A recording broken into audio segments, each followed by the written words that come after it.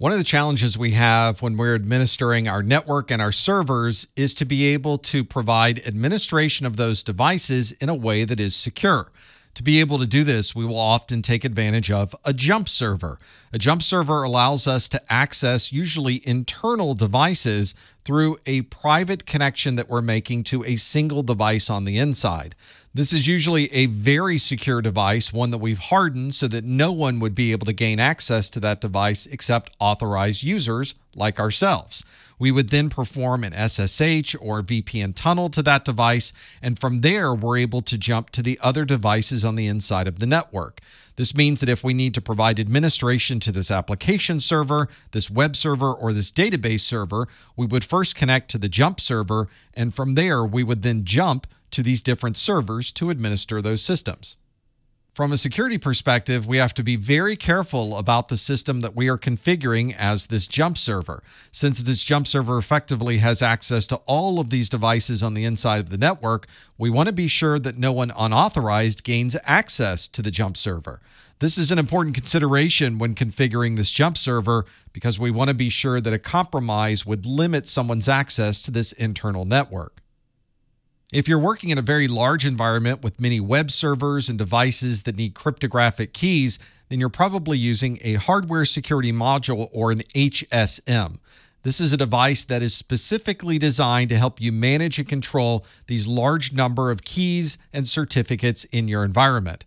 This is a device that is usually installed in clusters with redundancy. There's very often multiple power supplies on these devices because you always want to be sure that you can access your HSM. These devices are more than just a simple server. Usually, inside, they have specialized hardware that's designed for cryptography. This might be a card that's added to the system after the fact, or it may be purpose built to have this cryptographic functionality as part of the HSM. This HSM can provide secure storage, so this would be a perfect place to keep your private keys that you would use for your web servers. And many environments will have this configured as a cryptographic accelerator so that they are performing their encryption and decryption on this device and then simply using in the clear communication to the server. This would keep the overhead of the encryption process away from the server and focus it on the device that has built in hardware that's designed specifically for encryption and decryption encryption. If you are managing one of these large networks, then you've certainly installed some sensors and collectors into your network.